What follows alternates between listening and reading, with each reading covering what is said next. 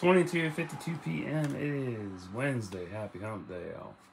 One library all book today. We got The Art of Terminator Salvation. I'll be burning this eventually, so that's what I got for tonight. So, till next time, like and subscribe for thoughts and prayers.